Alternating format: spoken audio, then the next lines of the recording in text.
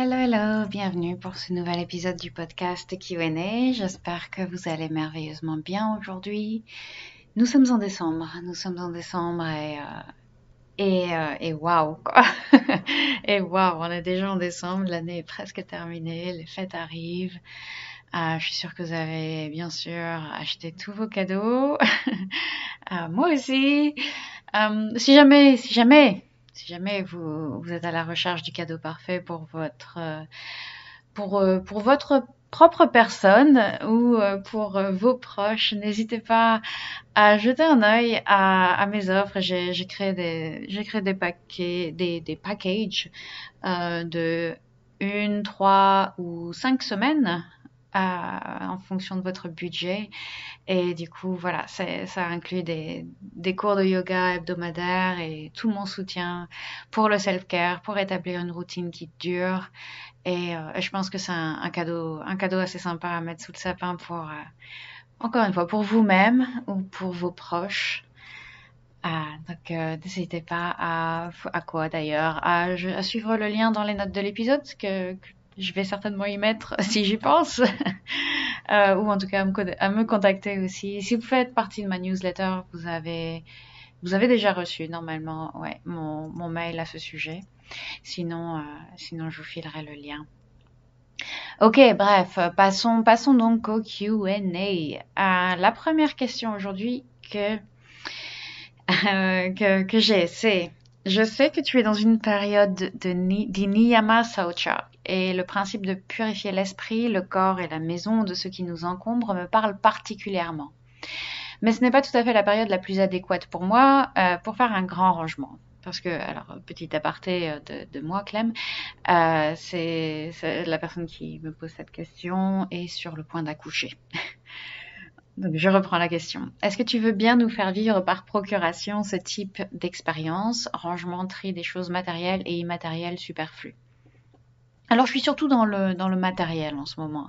C'est pas hyper euh, intéressant en soi, je jette juste plein de trucs et je donne aussi plein de trucs, mais je me suis dit que je pouvais quand même partager avec vous la révélation que j'ai eue récemment en tombant sur, euh, par hasard, sur des vidéos YouTube sur le minimalisme et sur le fait de, de, voilà, de jeter, de faire des grands rangements qui, qui, ces vidéos m'ont vraiment inspirée parce que, parce que je me suis rendu compte que, j'étais coupable, euh, comme beaucoup d'entre nous, je pense, de garder beaucoup de choses pour de mauvaises raisons.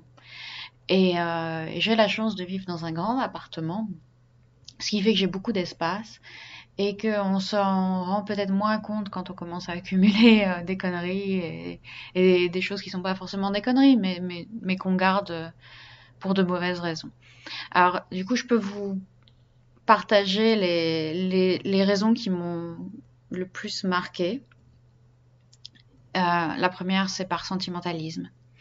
Euh, parce qu'elles correspondent, ce sont des choses qu'on garde parce qu'elles correspondent à une, à une version de nous qu'on n'est plus.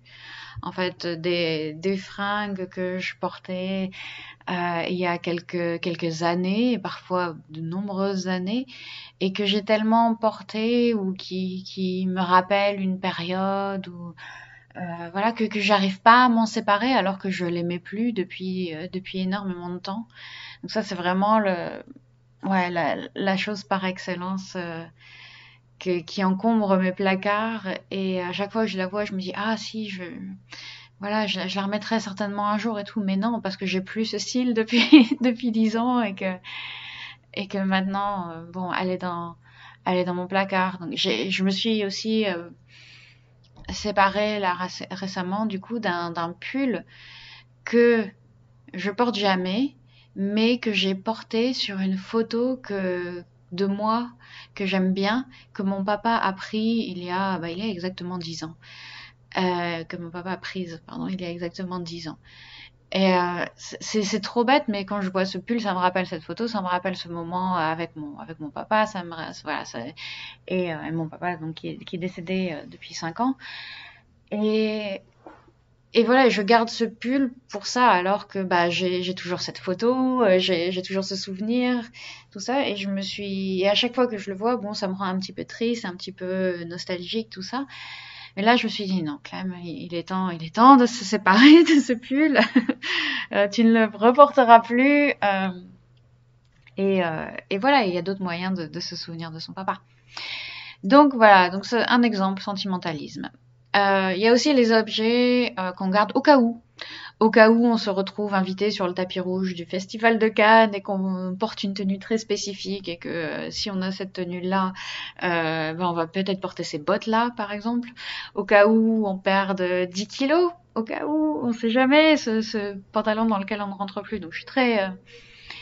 Euh, je parle beaucoup de fringues, mais euh, ça peut être aussi euh, au cas où on se reprenne de passion pour l'aquarelle, qui, a été une de mes obsessions, je sais pas, il y a un an ou deux, où j'ai passé l'été à, faire de l'aquarelle et puis j'ai pu toucher de pluie et je me dis bon, est-ce que est-ce que ça sert vraiment à quelque chose que je garde? Parce qu'en plus forcément quand je me suis quand je me prends de passion d'un truc, il faut que j'achète tout ce qui est en rapport avec. Donc j'ai plein de, de, choses comme ça dont je me sers plus. Euh, au cas où on reprenne ses études et qu'on ait besoin d'un cahier 21-29-7. Voilà, j'ai plein de, de, de, de, trucs de papeterie que je n'utilise plus depuis tellement longtemps, des post-it et des machins. Et, et euh, j'ai vu plein de, de aussi de, de, bouquins de psychologie que, que je lisais à l'époque où, bah, où je faisais mon master. Et euh, j'ai pas ouvert ces bouquins. Même déjà à l'époque je les ouvrais pas beaucoup mais alors là je les ai pas ouverts depuis euh, bah, depuis 15 ans. Et euh, et je gardais, je trimballais avec moi de déménagement en déménagement ces, ces, ces, tonnes et tonnes de bouquins sur la crimino. Et, euh, et je me suis dit, bon, non, là, il, est temps, de, leur donner une deuxième vie. Et de, voilà, je, ne vais pas, me, vais pas reprendre mes études. voilà, enfin, pas celle-ci en tout cas. Euh, un autre, euh, un autre cas, euh, c'est des choses qu'on nous a offert, des objets qu'on nous a, des objets qu'on nous a offerts euh, et qu'on n'aime pas particulièrement ou qui nous encombrent plus qu'autre chose ou des choses où on se dit ah bah ouais mais si cette personne vient chez moi il faut qu'elle voit que j'ai euh, j'ai gardé son truc alors que cette personne a certainement complètement oublié l'existence de cet objet qu'elle vous a offert en 1997 euh, voilà des, des choses qu'on qui nous encombrent mais qu'on garde parce que on voudrait pas euh, voilà on a c'est presque, c'est presque de peur de, porter le mauvais œil sur la relation ou des choses comme ça. Euh, voilà, poubelle, poubelle ou, euh, ou euh, voilà, ben don. Euh, enfin, voilà, on peut, on peut s'en séparer sans scrupule. Ou bien euh, des choses qu'on a payées cher et euh, qu'on se dit ah ce serait du gâchis de jeter ça quand même. J'ai mis 75 balles dedans. ouais, ouais, mais on l'utilise jamais on l'utilise jamais. Et l'argent, et ça c'est une citation qui m'est beaucoup revenue, l'argent a déjà été perdu. L'argent est déjà, voilà, on, a déjà fait ce, cette mauvaise, pris cette mauvaise décision à l'époque, on a acheté cet objet en pensant qu'on allait s'en servir, on ne s'en est pas servi. L'argent a déjà été perdu, ça sert à rien de conserver l'objet pour qu'il nous pompe notre énergie, notre espace, qui nous, nous encombre alors qu'on ne va jamais l'utiliser. Et qu'en plus à chaque fois qu'on le voit on se sent un peu coupable parce qu'on s'est dit ah oh, j'ai mis tellement d'argent dans ce truc donc on peut voilà s'en séparer sans scrupule donner ou jeter euh, relâcher. À Paris Graha on, on, lâche prise et on relâche les choses. Et, euh, et voilà, et on se sent tellement mieux après, on se sent tellement mieux. Du coup, avec toutes ces, raisons, j'ai décidé d'être impitoyable dans mon tri cette fois-ci. Tout ce que j'ai pas utilisé depuis au moins un an, les, tous les bouquins de ma vie d'avant, comme je disais, les fringues, tout ce sur quoi je pose les yeux et je me dis, ah ouais, il faudrait qu'un jour je l'utilise. Non, je donne, je jette, ça part, ça part. Et ça fait, ça fait énormément de bien, ça fait énormément de bien. Et le truc fou, c'est que j'ai déjà rempli deux énormes sacs poubelles plus un de, enfin des, cartons et des cartons de choses que j'ai données, euh, dont je me suis séparée. Et je regarde autour de moi et je vois pas beaucoup de différence. En fait, j'ai pas l'impression de, de, vivre dans un espace complètement minimaliste d'un seul coup. Non, non. Il y a encore beaucoup à faire. Il y a encore beaucoup à faire. Et puis, euh, et je pense que un truc aussi dont je discutais avec euh, avec une amie euh, qui euh, qui, me disait qu'elle avait envie de faire ça depuis super longtemps, mais qu'elle elle se motive pas, c'est que euh, j'ai fait une zone à la fois, en fait, euh, une étagère à la fois, euh, voilà. Et je pense que c'est important de, faire les choses aussi une à la fois pour ne pas être complètement submergé par l'ampleur de la tâche parce que ça peut être, en fonction de, votre tendance à accumuler des choses, ça peut être très impressionnant. Donc je me suis décidée, voilà, dimanche matin dernier, je me suis dit, allez hop, je vais faire cette étagère-là, donc mon étagère de livres, je, trie tous mes livres. L'après-midi, j'avais encore de la motive, du coup je me suis dit, bon, maintenant je vais faire mon étagère de fringues, armoire de fringues. Euh, et puis un autre jour, je fais euh, le linge de maison. Et puis un autre jour, je fais euh, ma salle de yoga. voilà. Donc faire petit à petit pour voilà pour découper la tâche en, morceaux plus appétissants, on va dire, plus, plus motivants en tout cas. Et je vous jure, ça fait du bien. Je vous jure, ça fait du bien. Faites-le. Faites-le, ça vous fera du bien. Ok. Seconde, question, ça fait déjà 10 minutes, oui, ça fait déjà 10 minutes que je parle, bien sûr.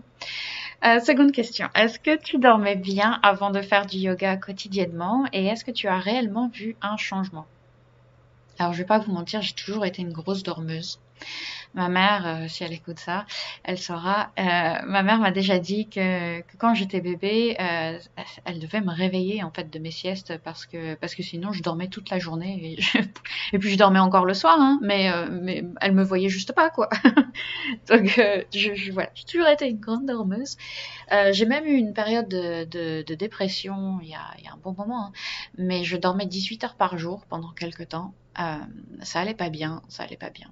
Et j'ai même vu à l'époque une saloperie de psychiatre qui, euh, qui, cherchait des cobayes pour son étude et qui a quand même voulu me prescrire un somnifère.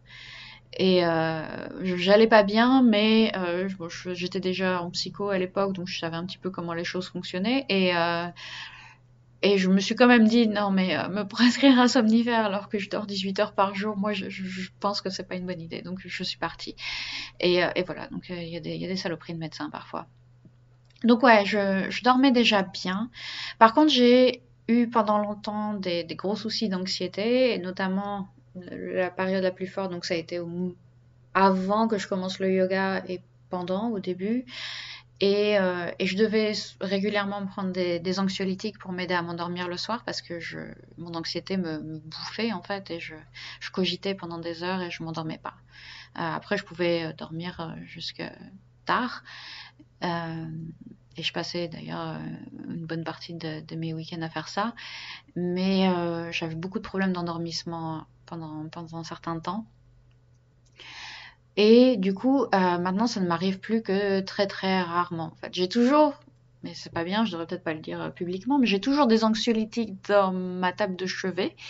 Euh, que je garde un peu comme un doudou, euh, juste savoir qui sont là au cas où, mais je les utilise plus euh, ou très rarement quand vraiment quand j'ai une grosse période de, difficile. mais voilà, j'ai moins d'anxiété grâce au yoga et, euh, et, grâce à la thérapie, hein, on va pas se mentir, mais aussi beaucoup, parce que j'ai arrêté ma thérapie depuis un moment, mais grâce au yoga, euh, ça m'a ça m'a beaucoup aidé et ça m'a aussi beaucoup aidé à privilégier d'autres outils que les anxiolytiques pour m'endormir si jamais il y a besoin. Donc, euh, donc voilà, donc je, dirais que oui, je dormais déjà bien, mais que j'ai vu un, gros changement quand même parce que, bah parce qu'aussi avec le yoga, il y a toute une hygiène de vie qui change en fait. Quand on commence à prendre soin de soi, quand on commence à apprécier son corps, quand on commence à, à, voir vraiment la, l'importance et la valeur du self-care et, de, et de, prendre ce temps-là pour soi régulièrement, prendre soin de soi tout simplement. Euh, on a tendance à avoir une meilleure hygiène de vie en général. Et euh, pour moi, le yoga a été ce, catalyseur de, de, tout le reste qui fait que je dors mieux, j'ai une meilleure hygiène de sommeil, j'ai des meilleures habitudes autour du sommeil et autour euh, de, de mon hygiène de vie en général, la nourriture, le mouvement et tout ça. Donc voilà, j'ai vu un changement aussi par rapport à ça. Question suivante. Il m'arrive parfois de succomber à la colère et je déteste ça, exclusivement au travail. Hormis changer de travail, quelle solution puis-je mettre en place pour prendre du recul rapidement et respirer pour laisser passer?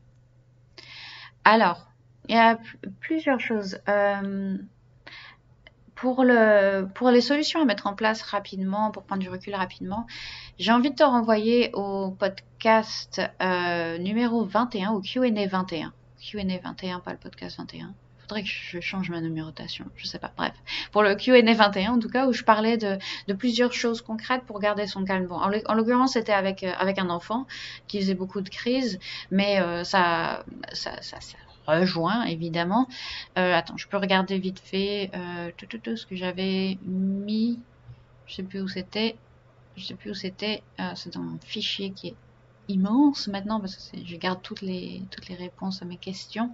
Mais bref, c'était euh, c'était des, techniques de respiration, c'était euh, avoir aussi du, des moments euh, dans dans le reste de sa vie en fait où, où, on a des moments de décompression et, tout ça et puis mais surtout en fait je reprendre du début surtout je pense que ça, ça peut être intéressant d'être de te demander pourquoi tu succombes à la colère dans ces moments-là? Qu'est-ce qui la déclenche spécifiquement? Et vraiment, vraiment, vraiment prendre un moment pour, te poser cette question et pour aller vraiment dans les détails. Euh, de voir en particulier qu'est-ce que qui fait que ce bouton-là te fait vriller, euh, d'où ça peut venir, que euh, cette colère, qu'est-ce qu'est-ce qui la qu'est-ce qui la, la cause dans son essence vraiment la plus pure en fait. Parce que tu peux dire oh c'est mes collègues ils sont débiles. Ouais mais non. Euh, pourquoi, euh, de, quelle manière précise est-ce qu'ils sont débiles à ton avis euh, et pourquoi est-ce que ça te touche si particulièrement en fait au lieu de te dire oh ils sont débiles mais bon je, passe mon chemin tu vois ce qui fait que ensuite quand tu te retrouveras dans une situation similaire où il y a une chose en particulier qui te fait vriller, euh, tu pourras peut-être plus facilement marquer un temps de pause entre le stimulus et ta réaction. Pourquoi je dis ça? Parce que j'ai eu la même chose au travail quand j'étais employé, salarié. J'avais un collègue en particulier dont le comportement me rendait ouf, il me rendait ouf. Et je me rendais compte que d'autres personnes voyaient le même comportement et eux, ça les amusait en fait ce comportement. Ils disaient ah machin, ouais encore une fois il dit ça, oh machin il agit encore comme ça, tout ça et ça les, ça les amusait. Alors que moi, ça me faisait vraiment péter un boulon. Et du coup, ça m'énervait en fait. Je comprenais pas pourquoi moi ça me rendait aussi furieuse et euh, pourquoi j'arrivais pas à prendre cette distance que les autres arrivaient. Et là où ça m'a aidé, c'est et, donc ça m'a aidé plutôt de, de, prendre un moment pour identifier précisément pourquoi j'avais cette réaction face à ce comportement-là et ce que ça disait de moi, dans le sens où quelle peut-être quelle blessure ça rouvrait, euh, quelle situation similaire j'avais connue dans, un passé plus ou moins lointain où euh, ce comportement avait été fait, euh, avait été commis envers moi et euh, j'avais trouvé ça hyper injuste, hyper machin, truc, et tu vois, et de vraiment creuser. Donc ça un petit peu euh, self-psychothérapie, mais c'est intéressant quand même de, de, plonger un peu là-dedans pour euh, pour mieux comprendre en fait comment tu fonctionnes et de par cette, euh, nouvelle conscience, cette awareness, ce que, ce que tu veux, euh, tu, peux ensuite adapter ton comportement, accepter que tu n'as aucun contrôle en fait sur le comportement des autres. Ils vont continuer à faire des choses débiles, ils vont continuer à faire des choses qui te, qui te saoulent, mais ta réaction à toi, tu peux la changer. Tu peux la changer et comprendre. Ça, ça part, ça part de comprendre comment tu fonctionnes, pourquoi ça te trigger autant et, euh, et à partir de là, à faire le choix toi-même de répondre plutôt que de réagir. Donc, euh, donc voilà, je, commencerai par là en fait. Après, comme dit, pour prendre de la distance sur le moment, je te renvoie au podcast euh, au Q&A 21 et, peut-être même le 20. Euh, je, parlais aussi de, des crises d'angoisse, tout ça, il me semble, de, comment, arrêter une attaque de panique qui commence. Et, c'est le genre d'outils de, respiration et de ouais, de respiration, en fait, de réussir à mettre cette distance, à sortir du système limbique, de, de, de la réponse purement émotionnelle, pour ensuite, euh, pour ensuite passer plus au, au, cortex préfrontal, donc à une réponse qui est plus raisonnée, qui est plus, euh, plus dans la distance et dans le, dans le zen et dans le, ok, je, je peux contrôler la situation, je peux garder mon calme. Et, euh, et pour moi, principalement, c'est voilà, se distancer de la situation, sentir que quand quand ça commence à monter, ok, je prends mes distances, même physiquement, en fait, je m'en vais, je change de, change de pièce, je respire et je, voilà, je dis à mon système nerveux que via ma, via ma respiration, je lui dis que je suis calme, que tout va bien et ça peut arrêter de, euh, comment dire, pas de désenclencher, mais ça, peut des... Euh, mince, j'ai plus le mot. Bref, ça, peut, ça peut permettre de, de décompresser un peu sur le moment. Voilà. Ok. Question suivante. N'hésite pas si tu as d'autres questions, euh, une question, euh, une follow-up par rapport à ça ou, autre chose. Toi ou n'importe qui qui écoute, bien sûr. Quand je dis toi, je parle à la personne qui a posé la question, évidemment. Ok, question suivante. Quel matériel est indispensable Quel matériel est intéressant en complément Et quel matériel est déconseillé ou gadget? Alors, indispensable j'ai envie de dire indispensable, indispensable, le tapis de yoga, juste parce que c'est pas agréable. Et même, même, j'ai eu une, une élève euh, il, y a, il, y a, quelques mois euh, qui m'avait demandé de lui faire faire des cours faisables sans tapis de yoga parce qu'elle voyage énormément et que, euh, enfin, elle, bougeait, elle bougeait beaucoup et qu'elle voulait être capable de faire du yoga partout. Donc c'était un challenge intéressant. Et, euh, et, on a réussi, on a réussi tout à fait. Euh, donc, tu vois, rien n'est indispensable. Indispensable, c'est juste des, des, fringues dans lesquelles tu arrives à bouger, parce que personne n'a envie de faire du yoga en jean. Euh, c'est pas, ça, ça, ne marche pas. Donc, euh, voilà, juste des fringues confortables. Indispensable plus, j'ai envie de dire, le tapis de yoga quand même, parce que c'est plus sympa de faire du yoga sur un tapis, ne serait-ce que pour ses genoux, ne serait-ce aussi que si on a un sol froid, ne serait-ce aussi que si on a un sol euh, un peu euh, irrégulier. Euh, donc un tapis de yoga sympa. Juste en dessous, je mettrai les blocs, les, blocs, les briques de yoga parce que c'est tellement versatile et que on, les, on peut les utiliser pour, pour plein plein de choses vraiment. Oui, ce que je veux dire par versatile. Donc voilà, on peut vraiment les utiliser pour plein plein de choses. C'est hyper utile et ça coûte rien. Les, des blocs de, des briques de yoga, c'est vraiment, euh, ça coûte pas très cher. Et, euh, et, puis la sangle aussi, qui va avec les blocs. Donc, euh, mais ça, c'est pareil, c'est facile à remplacer par une ceinture, par, euh, par autre chose. Donc juste quelque chose qui nous allonge un peu les bras. Et je mettrai aussi au même, au même niveau un coussin ou une couverture. Surtout une couverture, je dirais, parce que pareil, c'est super versatile. On peut s'en servir pour, bah, pour ajouter du mousse sous, sous ses genoux ou pour euh, se, réchauffer pendant Shavasana ou pour euh, euh, faire un, petit, un petit boudin sympa en dessous de son cou pour, pour la relaxation. On peut s'en servir aussi comme bloc potentiellement. donc voilà, donc c'est très utile, couverture. Et c'est pas un accessoire. en plus, voilà, c'est un accessoire que tout le monde a en général dans, sa maison. Intéressant en complément, je mettrai le bolster. le bolster, c'est un gros coussin en fait, qui est qui est surtout utile pour les, les pratiques hein, plus de relaxation, donc euh, qu'on peut le mettre sous les genoux quand on est allongé, sur le dos par exemple, pour avoir euh, le, le, dos dans une position un peu plus neutre que si on a les jambes complètement étirées. Euh, on peut le s'allonger dessus en, bah, en, pareil en shavasana ou bien en posture de l'enfant, tout ça. On peut donc ça permet de, de rapprocher un peu le sol de, du corps tout simplement, euh, dans certaines postures, et le faire de façon douce et confortable. Donc euh, moi, j'adore mon bolster. En plus, la plupart des bolsters qu'on achète sont remplis de, de, céréales qui sentent super bon. Ça sent le frais et tout, c'est trop agréable. Donc le bolster. Les balles de massage. Euh, voilà, je dis juste intéressant en complément parce que c'est pas indispensable à la pratique de yoga, mais euh, en tout cas avec mes clients j'aime beaucoup travailler avec le massage, donc euh, euh, des balles de massage qu'on peut qu'on peut caler sous son dos, sous ses fesses, sous ses mains, sous ses pieds, sous ses jambes, c'est enfin, trop trop le bonheur. Donc je mettrai les balles de massage.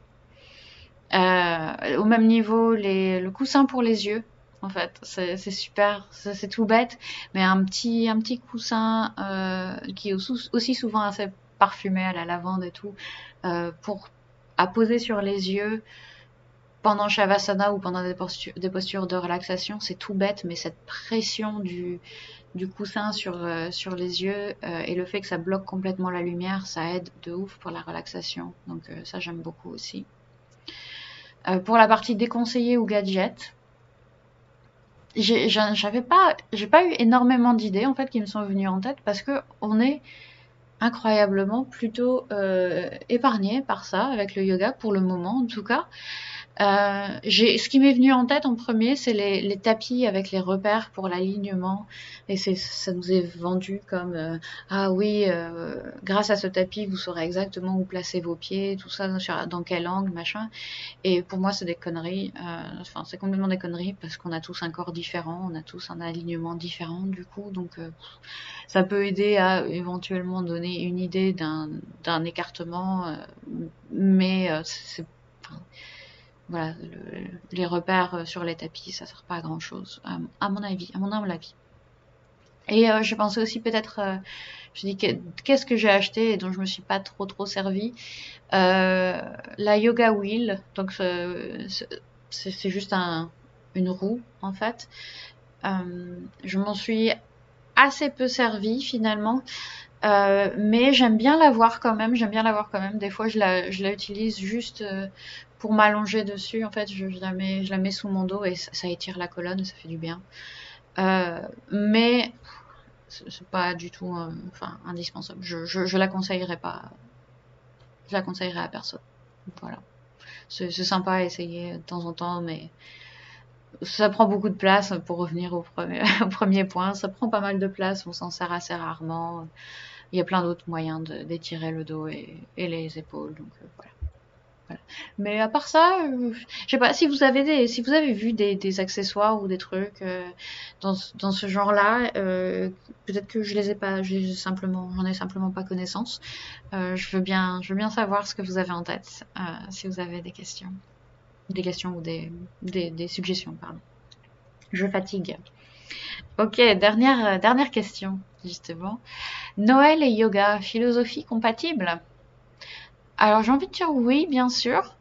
Euh, oui, bien sûr. Parce que, en tout cas, ma philosophie du yoga, c'est de, de l'adapter à notre vie au sein de la société. Euh, donc c'est, j'ai envie de dire peut-être que euh, la philosophie yogique originelle, traditionnelle, 100% pure, ouais, bon, Noël, s'en fout un peu. Mais je pense que pour nous, pour nous, oui, en fait, c'est complètement compatible parce que parce que voilà, on, veut on veut pouvoir allier notre notre philosophie du yoga et d'y trouver des et, et, notre vie de tous les jours. Et donc on veut y trouver des valeurs qui nous aident à traverser toutes les périodes de la vie plus sereinement et celles des fêtes avec tout ce qu'elle a de, de moments en famille, euh, et tout, tout, ce, tout ce que, toutes les émotions compliquées qui peuvent être soulevées par ces euh, moments en famille, euh, ouais, je pense que la période des fêtes s'y prête particulièrement, du coup.